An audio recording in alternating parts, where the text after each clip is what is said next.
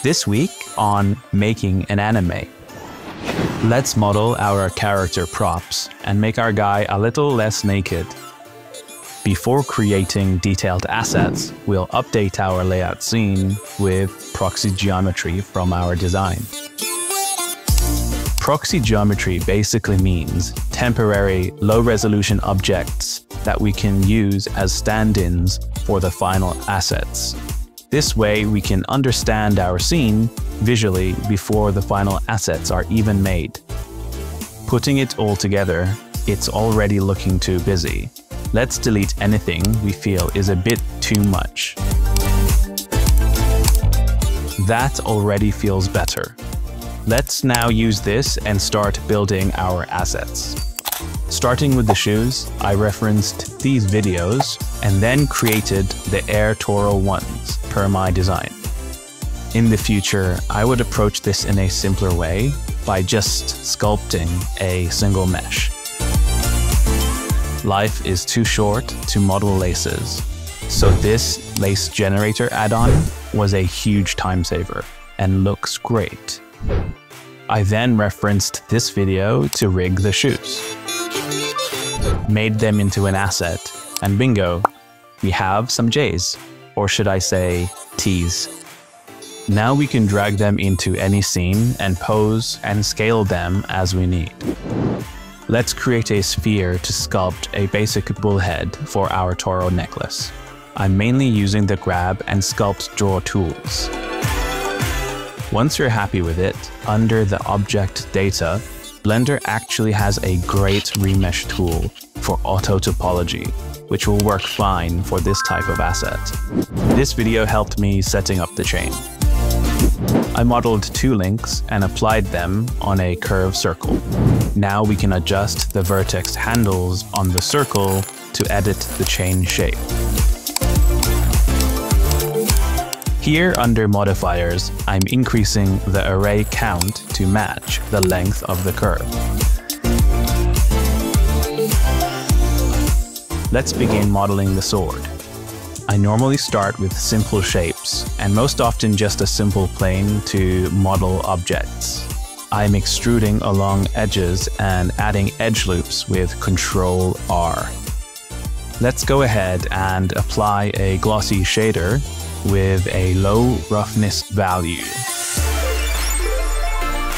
For all the wraps, I used the Wrap Master add-on that made the entire process just a couple clicks and looks amazing.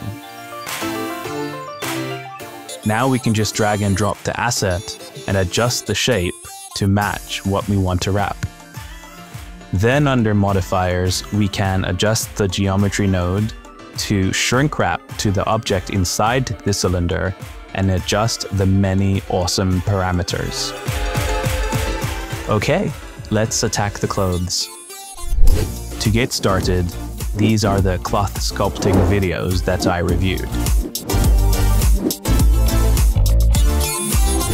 Duplicate the mesh and select the bordering face loops outside the faces that you want to extract. Now hit the P key to separate objects by loose parts. Then, in object mode, delete the separated parts that we don't need. Now, I like to select the faces of the extracted object and extrude along normals just a touch. With the faces still selected, hit the P key and choose Separate by Selection. Again in object mode, delete the inner separated geometry. This way, the shirt geometry has a bit of an offset with the body. Apply a quick simple shader to the shirt so that we can visually see it separately from the body itself. Now let's get into sculpt mode and start at the lowest multi-resolution level. Here, I'm blocking out where I want the cloth folds with the clay strips tool, drawing X, Ys, and Zs.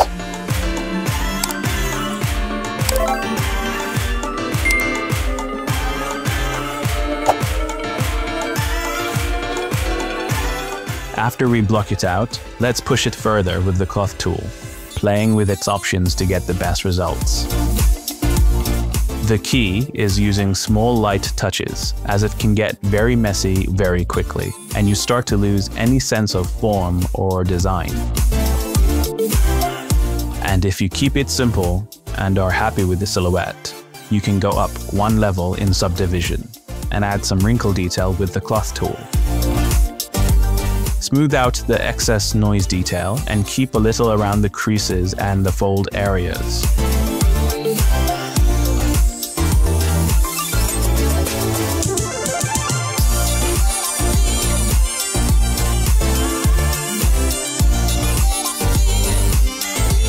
I like to use the scrape tool to bring back some of the flat surface planes on top. And once you're done sculpting at the highest level, hit the Applied Base button on the Multi-Resolution modifier. Interestingly, with the shirt, our character is looking a little thick, maybe too thick. He's no longer a sleeper build. But hey, let's keep pushing forward. The trousers were a challenge. Going from drawing clothes to sculpting clothes is a difficult task. Luckily, I found Outgang, who is a total gem. I learned so much theory from this channel, and I couldn't recommend them enough. I tested a lot of techniques, and even experimented with simulating the base form for the clothes. I liked the idea of simulating a puffer jacket but felt this pushed the character a bit to future tech instead of semi-fantasy. Then I realized that all the great sculpting work on the body was getting lost under all these clothes, so I played with the idea of a topless character. This kind of gives me like 90s white Power Ranger vibes, which I thought was kind of cool. I kept working on the trousers, tried simulating a base mesh, but in the end, sculpting gave me the best control of what I really wanted. And over a lot of reattempts and iterations, I started to feel better about the result. We'll discuss how we get to line art in the future, but for now, this is how our model looks like in 2D. And after all this work, I realized that our guy is looking good. But I also realized I'm no longer happy with a static frame. I want him to move through a shot, even though he wasn't designed for shot work. Well, let's work with what we have. We can add some wiggle animation to the limbs to give him a bit of life, and fill in the rest with some facial animation. Let's have the main motion of the scene come from a cloth simulation of the material elements. And finally, we'll add some 2.5D sky and cloud movement in the comp to make the shot a bit more alive. So let's upgrade our test frame into a test shot. And with that, next week, let's tackle the cloth simulation. As always, if you'd like to follow us on our journey of making our own anime, hit the like, subscribe, and alert buttons, even comment. Feel free to follow us on our other socials, and I'll see you next time.